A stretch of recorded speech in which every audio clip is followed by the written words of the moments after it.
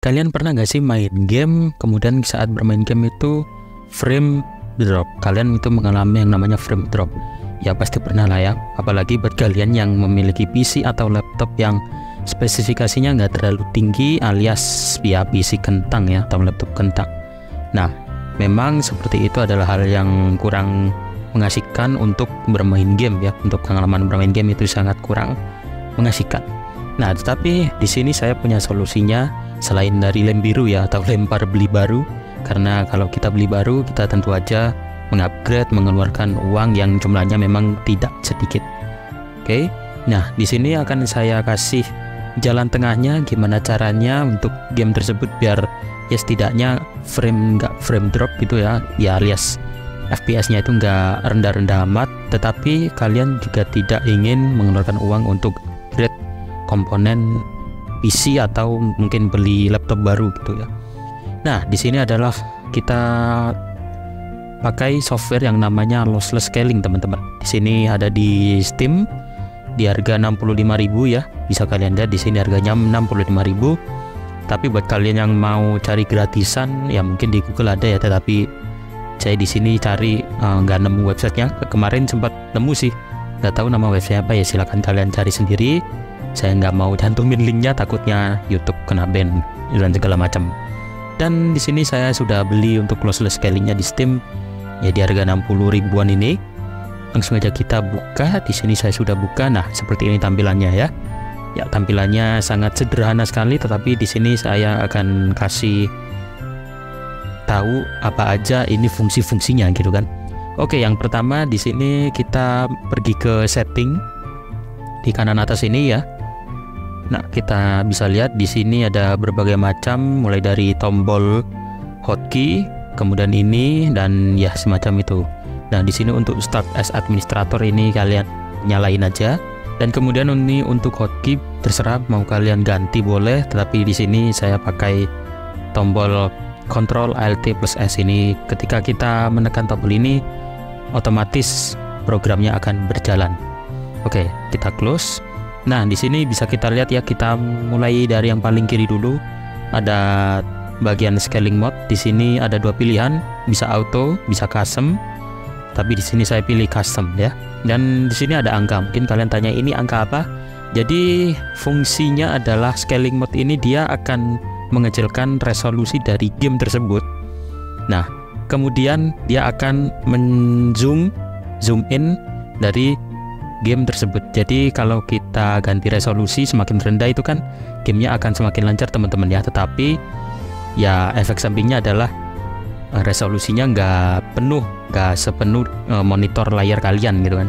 Yang menghasilkan di bagian sisa-sisa ruangan itu akan jadi gelap. Nah, jadi ada black black bar di bagian kanan kiri. Kalau kalian pernah main game-game jadul mungkin ya, itu kan di bagian kanan dan kirinya ada item-item tuh. Nah, itulah untuk menghindari munculnya hitam-hitam tersebut.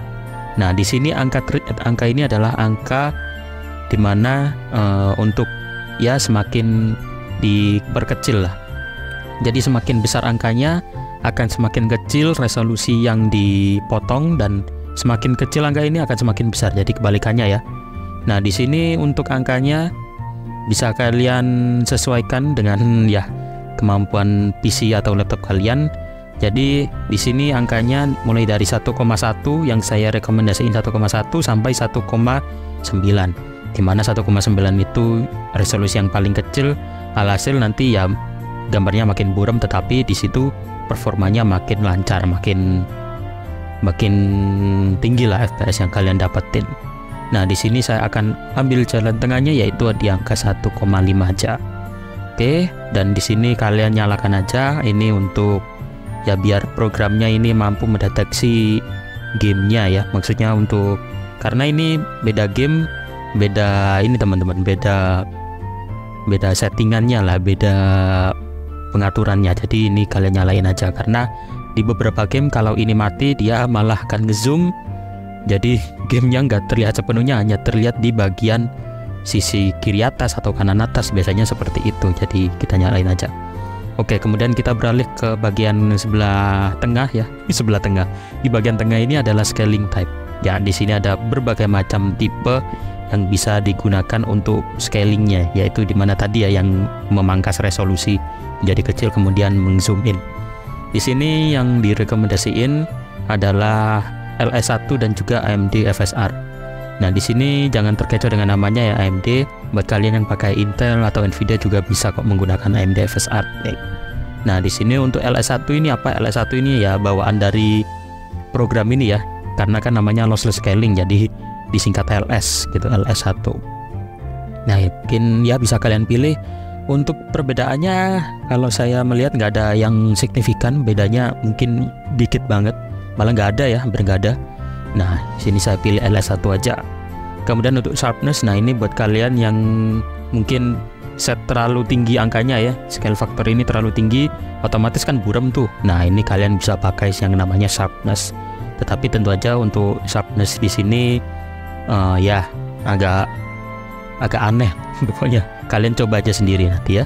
Dan di sini saya uh, matiin aja sharpnessnya karena kurang begitu suka saya untuk hasil gambarnya. Jadi biarin ngeblur aja nggak apa-apa kemudian ini untuk mode performa kalian nyalakan boleh nggak nggak mat, uh, matiin juga boleh.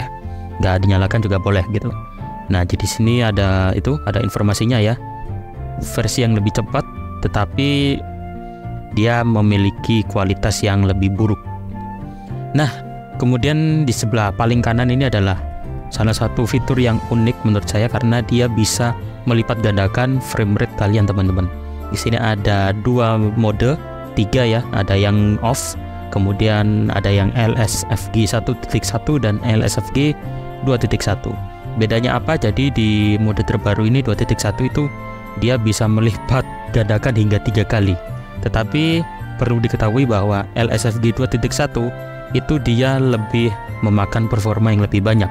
Jadi kalau saya boleh saran kalian pakai yang 1.1 aja gitu kan boleh kalian coba aja 2.1 mungkin ya namanya laptop beda ya pasti hasilnya akan berbeda juga ya atau yang berbeda performanya beda juga gitu. Nah di sini saya pakai 1.1 karena ini menurut saya yang terbaik di laptop yang saya pakai saat ini. Nah di sini untuk di bagian bawah-bawah ini tidak terlalu penting. Mungkin di sini ya untuk allow tearing. Nah di sini bisa kalian nyalain aja nggak apa-apa. Jadi allow tearing ini fungsinya ya untuk dia lebih uh, ini latensinya dia lebih rendah, tetapi screennya itu dia patah gitu teman-teman. Kalau kalian gerakin kamera secara cepat, bagian atas sama bawah itu kayak nggak nyambung. Tapi ya namanya mata manusia kan kadang ngelihatnya nggak begitu penglihatannya nggak terlalu tajam ya nggak begitu was gak, begi, begitu tajam lah pokoknya jadi nggak sadar tuh kameranya patah gitu Oke dan di sini untuk drop FPS-nya nyalain aja nggak apa-apa. Kemudian ini biarin seperti ini. Untuk GPU-nya eh, kebanyakan tutorial pilihnya yang GPU yang paling powerful ya. Tapi di sini saya biarin auto aja. Oke, seperti ini kita langsung aja coba ke dalam gamenya ya teman-teman. Baik, kita sudah berada di dalam gamenya. Di sini saya menggunakan game Roblox ya untuk percobaan dari lossless scaling tadi.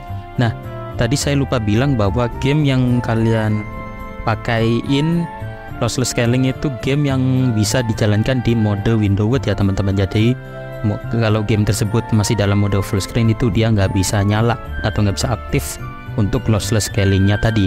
Nah, jadi kita pakai game Roblox karena game Roblox ini sebenarnya kan game yang modenya berjalan di mode window wood ya, bukan full screen. Tuh kalian bisa lihat bagian atas. Jadi dia masih window wood sebenarnya yang dibikin full layar sesuai monitor dari PC atau laptop kalian.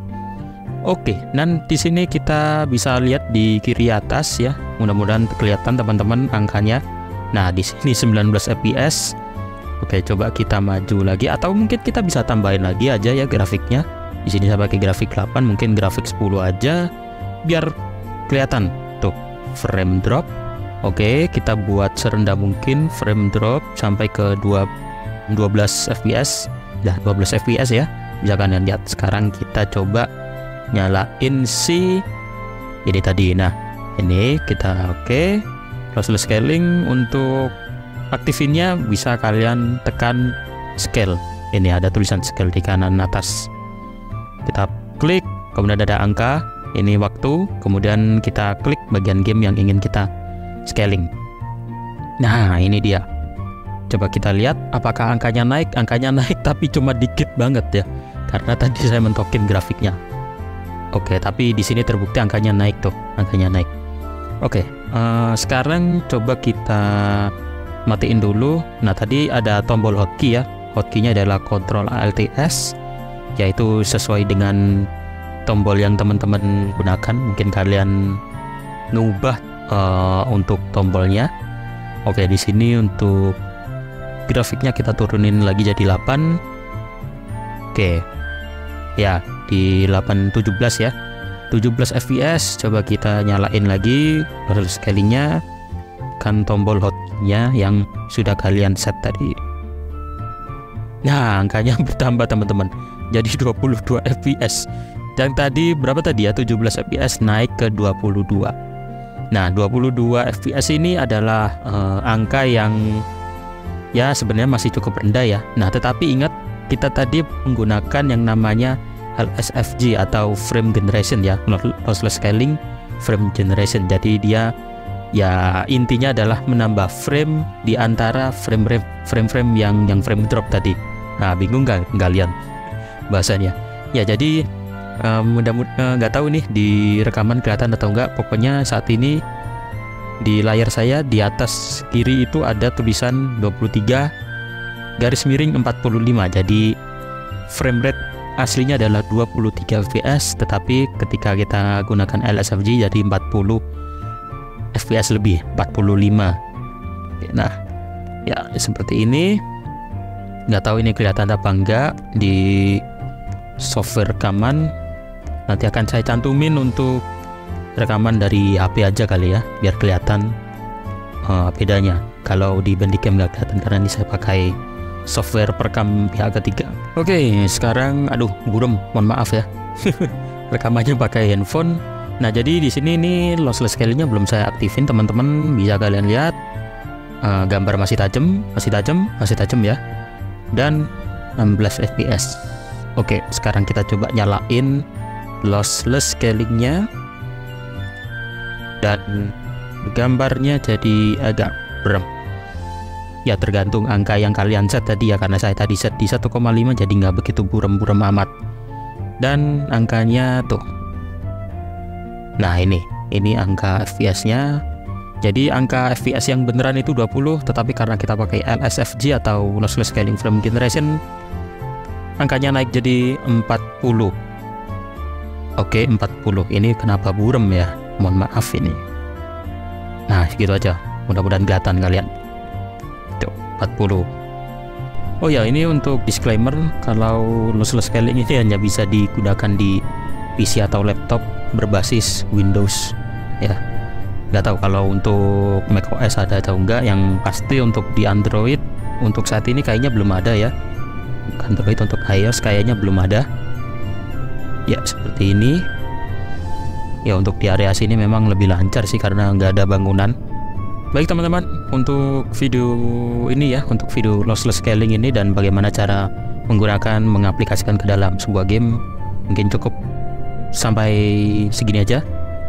Untuk tips dan trik atau tutorialnya ya terima kasih buat kalian yang udah nonton sampai akhir video dan jangan lupa mungkin kalian bisa share ke video ini ke teman-teman kalian yang mungkin mengalami hal yang serupa, frame drop, nge-lag atau apa pun itu. Ya, semoga video ini bisa membantu teman-teman semuanya. Ya, sampai jumpa di video berikutnya. Terima kasih.